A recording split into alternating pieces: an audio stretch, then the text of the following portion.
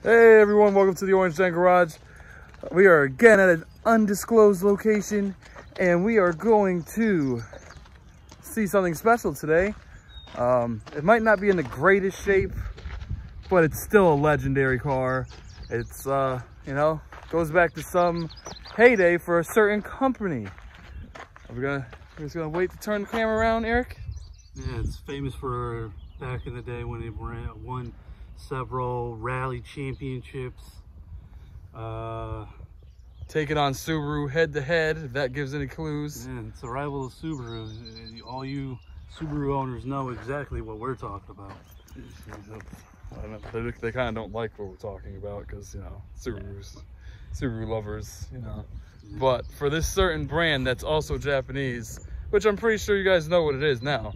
Yeah, well, it's, It's a definitely, legend. It, it was not what we thought we would find, especially this uh, this gen and this edition of this vehicle, and the fact that we found it in this huge lot.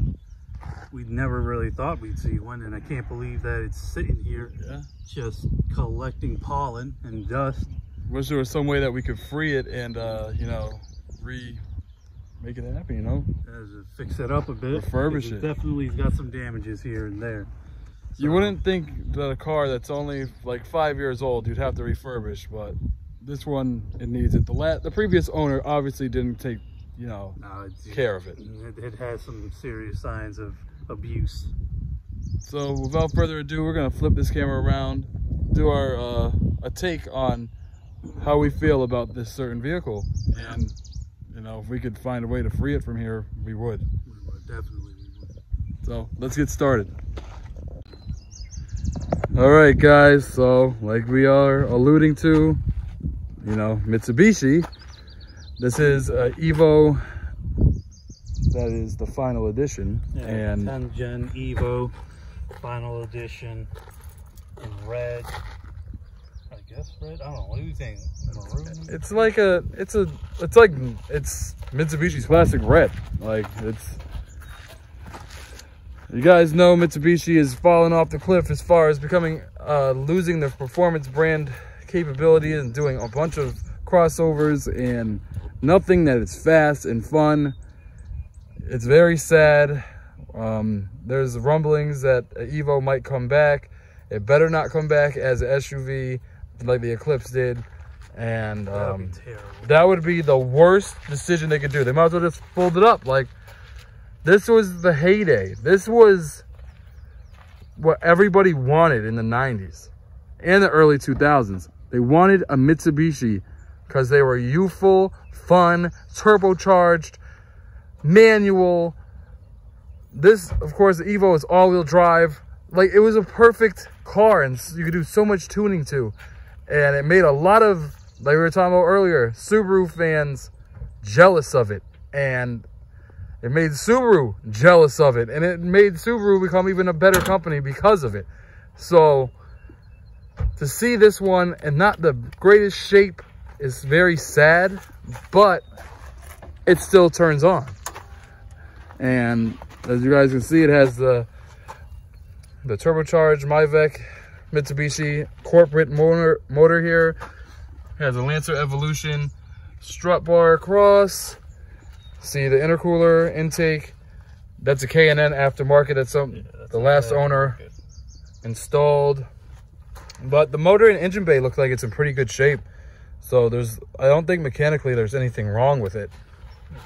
Definitely, it's more exterior damage than anything.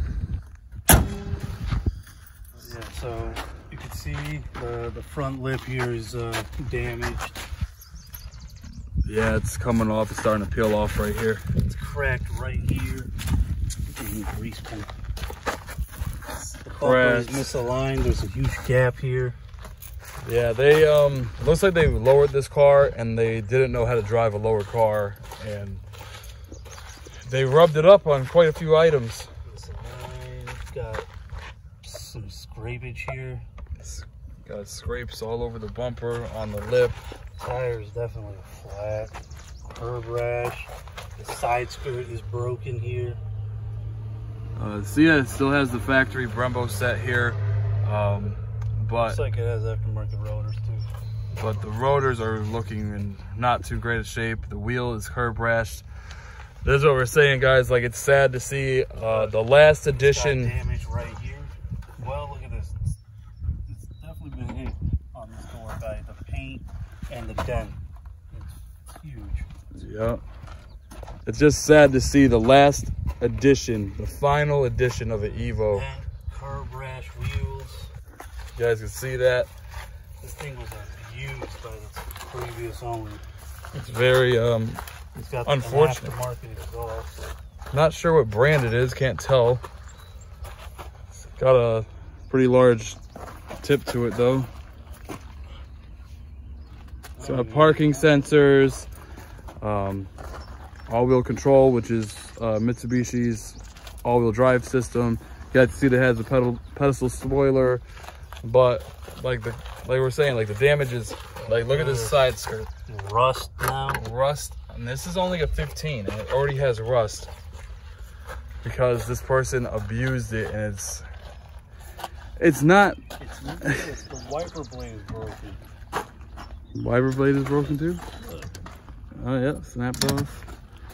But overall it's definitely able to be fixed. I definitely think it can be fixed. It's got it only has 28,000 miles on it. Um it starts and everything but you know just to see it uh, evo up close is really cool. To see one that is this special of a car that's going to be a collector's car in the future in this shape is really just like breaks our heart. Like this is the pinnacle of performance that you you know a lot of people especially um tuner people or whatever that love all different types of tuner cars and tuner fans like this is a, a unique car and it I, I don't know how to say it but I I don't know how you could beat a car like this. Like it's I don't understand how you could beat a car like this when it's this level of special like I don't know Yeah, like how, how are you gonna own the final edition Evo that's going to be the last production Evo ever for who knows how long? We don't really know if maybe they'll make a comeback, maybe they won't. But to have a final edition Evo and to abuse it this badly, come on, this is a collector car. This would worth, be worth more. Now, it's worth more now than any STI mm, yeah except for like maybe the new ones because they're new. But what, what the point is, this is a collector car. You should be keeping it safe, preserving it, and then and when you do drive it, obviously be smart about it. Don't abuse it because this thing is worth more now than it did when it came out uh, five years ago for its final production. it, just imagine everyone if if Mitsubishi never comes out with an Evo, this car hits 20 years old. It gets to 20 years old. How much this car is going to be worth if it was in good shape, in great shape, whatever. Like it would be worth probably double what the sticker price was to begin with, at least double. Like, look at the Supras. Even non-turbo Supras are worth 70, 80 grand. Mm-hmm. So just imagine if this had been uh, preserved and kept uh, clean and safe 20 years from now, it'd be worth just as much. Yep. Now we're gonna, I'm gonna start it up so you guys can get uh, hear how it sounds with this uh, exhaust setup. Let's see if it has a good rumble to it.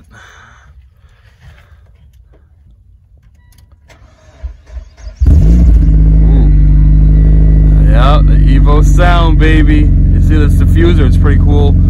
Um, it has uh, burnt tips for the exhaust, probably like a four inch tip on both sides. Um, Eric's just letting it cool up, uh, uh, warm up because, you know, it's turbocharged, so we don't want to damage it. So lovely to hear it start up and um, that that makes me happy that this, like this car starts that it has still has life. It still has a chance to come back. And I hope that whoever gets this car ends up know taking care of it and getting it back to its heyday and it doesn't just beat on it more like it already is I definitely would like to restore it if I could They're gonna give it a rev. You guys saw that was a cold start. It obviously hasn't been started in a while. There's no black smoke or anything coming out yet, so that's good. That's a good sign. The motor is still in good shape.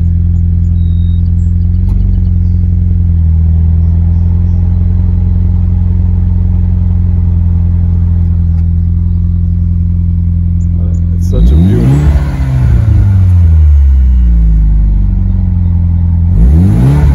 You can hear that turbo spool up.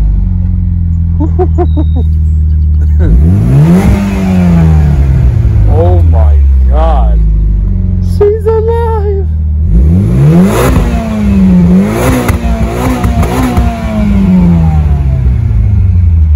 Wow, Eric. Wow. No, no, uh, what the hell is it called? No rev limiters on this bad boy. Any check engine lights or anything? No. Whoa. This car is able, it's fully functional, people. It's fully No functional. lights of any kind. It's such a beauty. Oh, I would buy this if I could. I would do it. I wish I knew how. Be nice. Drive off the lot with this bad boy. Just gotta do some. Just gotta fix that door. Really try to paint match it, not do what. I mean, all- that Probably just take off the side skirts and get new ones and do the body work down here. Cut that rust out and um, re- put new. Uh, maybe have to do a whole. Probably just maybe replace the quarter panel because it has some Oh, damn! I didn't even see some dents there. So I might. I would probably just replace the quarter all the way because of the rust and seeing that damage. That damage. Yeah. This. Oh, this is a project that I would love to take on. You guys, make sure you hit that like button, hit that subscribe button. Um, you know, turn on the notifications for us and stuff like that so that we can bring cars like this to the channel. We'd love to bring something like this to the channel, rebuild a car. Um, that's what we want to do. That's down the road, like with our channel, we want to start, you know, building cars that, you know, deserve to be rebuilt. This is a car that deserves to be rebuilt and get back to its heyday. So, um, but that's, I guess that's about wraps it up for this Evo. Um, I hope you guys are excited to see a final edition. If you've never seen um, one, like in the flesh, because this is the first time I've seen one this close. And um, Yeah, It's great. Final edition until we we came here the other day. Yeah, we know. At first glance, I thought this was just a regular Evo, and then when we were doing the uh, videos on some of the other vehicles here, we decided to show, walk around, take a look at this uh, a whole lot, and then when we found this, we didn't realize it was a final edition until we got close. So it's crazy to s- uh, to find this car just sitting here collecting pollen, dust, and rusting away. Yeah, it's. I wonder. I mean, we we're not sure how long it's been here. It's saying I think since March, but it could be longer. Um, let's see if we can see the nameplate real quick before we uh, close out. See its special edition plate. What we got here? Wow, number 459. It is like one of literally the last ones made, people. It even has Lancer Evolution Final Edition floor mats, which is pretty freaking. That is sick. That is freaking sick. Like they really tried to show off how special it is, and ugh, it's just sad. Sad. But we will be getting cars like this eventually on the channel, and we are going to start rebuilding them. It's not that difficult to rebuild stuff like this. It's not, you know, it's not crazy damage, but it's enough damage where you have to put money into it to get it fixed. So, um, yeah. So you want to close it out for us here? Yeah, I can't believe we found an, a final edition Evo in this place. And uh, hit that like button, drop down a comment, let us know what you think about this Evo, what you think about the final edition Evo or anything about the, the Mitsubishi brand, honestly. And just tell us what you like about the car, what you hate about it, if you're a Subi fan, because we all know Subi fans don't like Evos.